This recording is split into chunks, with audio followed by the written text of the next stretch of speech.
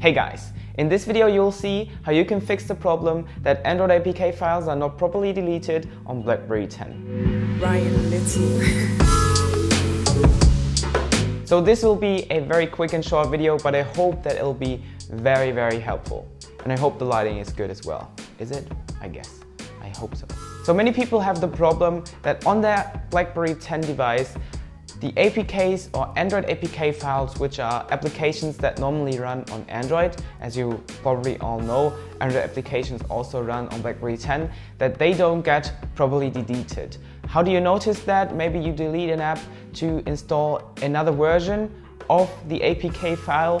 But once you want to install the new version, your phone says there's already uh, a newer version or the same version existing on your device, but you cannot see it anywhere on your phone because you think you've deleted it by pressing, by long tapping the icon and then clicking on the cross.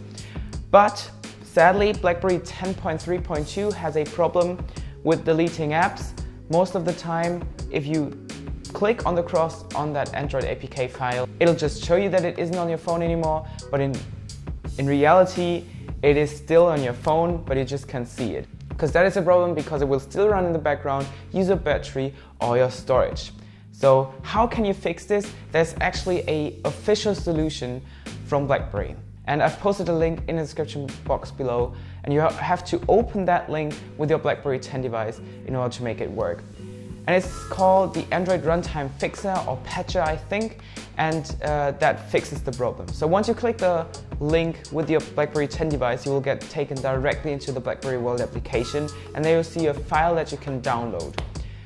So you just click download, you let it install, you let it do its thing. You don't need to open it, there's no need for that at all. Once it's done, just close the BlackBerry World application restart your device and once it's booted back up, your fix or patch is installed onto your device. Now you still have the problem that the file of the APK or the files in general are still on the device.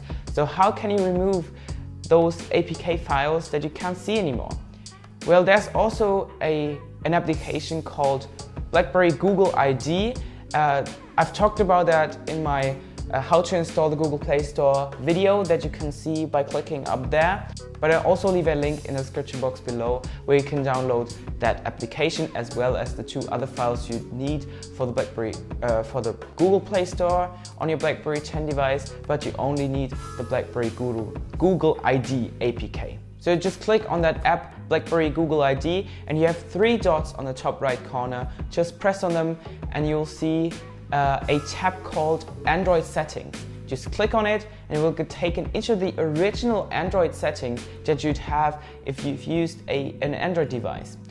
And in that settings, you can click on apps, choose the app that you don't, don't see anymore, but it's still on your device. Just click on it and click delete.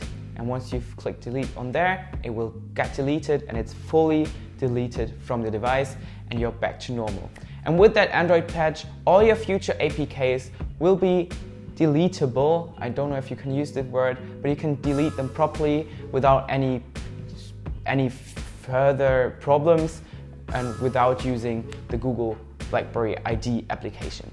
So that was the solution to that problem. I hope you understood everything I just said, or I hope you could follow my instructions. It's actually not that uh, difficult to fix. So I hope this video was helpful enough. If this video was helpful to you, make sure you give the video a like, leave a comment in the comment section below if it worked for you. I'd be very happy if it worked for you. And also make sure you press that subscribe button because I post a lot of BlackBerry videos, also app reviews, solutions, product reviews, and I hope maybe someday something else in BlackBerry. We'll see. So again, I hope you liked this video and I hope we see us in my next video, probably about BlackBerry. So until then, stay tuned. Bye.